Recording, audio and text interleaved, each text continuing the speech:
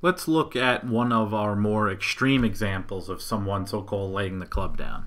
So I stopped this golfer at this point in the avatar so you get an idea of what it looks like visually from looking down the line, the kinematics of where the club head is, the shaft, the hands, so far and so forth. So I'm going to get rid of that now. So here's the actual analysis that we have. Same golfer. So you could see at the top of the swing when the hands, we call the top of the swing when the hands reach their highest point, top of the backswing. Since it's called the top, we thought that was a pretty good place to call uh, the actual point when the hands reach the highest point. And then you could see the hands start to move down. And you could see that the club head and the hands are at a plane at the top of the backswing.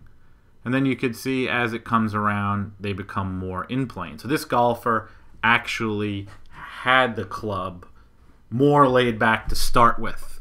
This is a golfer who did it more to start with. And this is our biggest laydown that we have uh, that I've captured to date. So as we watch this come around, what we're looking at here is green is the club head, blue are the shafts, red is the hub path, the points of the hub path, and black is the actual linear force applied to the grip point. And those are the quivers. And from those quivers, we're able to see direction and also magnitude of the linear force applied to the grip point. So you could see early on in the downswing where the club is because the relative angle between the club head and the hands was more extreme on this particular golfer than we would see some other times. You could see the direction of the force and how it's working uh, with the club or against the club, whatever you wanted to call it. And then you could see how it would come around. And as I spin this around, you could start to see how the force, the linear force applied to the grip point, starts to grow in magnitude and starts to come around. And at any particular point, if you wanted to make a plane out of it or see, you know, where the force is in relation to the club or where the center of mass would be, is you would just pick a spot on the hub path. So let's pick uh, down here. Let's pick the one down here. So right where I have this uh, cursor, you'll see here's the quiver. So there's the quiver of the force, the linear force applied to the grip point. There's the spot on the hub path where that is. We follow the shaft up to the club head. So now we can create and see if they're in the same plane, at a plane, and things of that nature. And one of the things that we've seen show up a lot, I'm just going to move this around. Let me just move this around for everybody.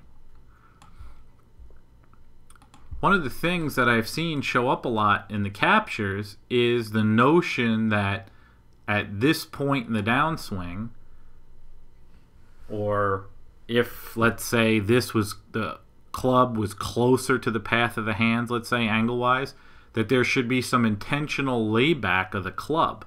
And you could just see in all the subjects here with the driver, now this is with the driver, it's going to be different with an iron, that these angles between the hands and the club head and the direction of the linear force applied to the grip point are very, very close to moving on similar uh, planes when they come around. Like you could see as I take this bottom part and I start to spin it, you could see, let me just move this over. See if I can get this at the perfect angle for you. So as we lay this one down, you could see the club heads, the plane of the force, and how the club head comes around. And you could see early on, because this golfer laid the club back in the at the end of their backswing, you could see the relative angle between the two starts to come closer together as he comes down, as this particular golfer comes down. And one of the videos that we were talking about on our Facebook group, Postmodern Golf, was the suggestion was to have the red hub path, the angle of this, and the club at standing, let's say a practice drill where you take the club shaft and the head and you put it at the same angle as the hub path and you keep it straight up and down. And then as you come down, you try to take the club and lay it back as you come down. And that was the suggestion. By this point in the downswing, I think you're going to see more of the club head and the angle between the hub path come closer together. So this is our most extreme case of the golfer laying the club down. He did it not so much um, by using a, a, a torquing of the club back or anything like that. And when we look at the grip and where the linear force at the grip point is, we could see how it interacts with the club. This is a cool way for you to see this. So I figured I would share it. And we have it, the whole swing broken down into quadrants.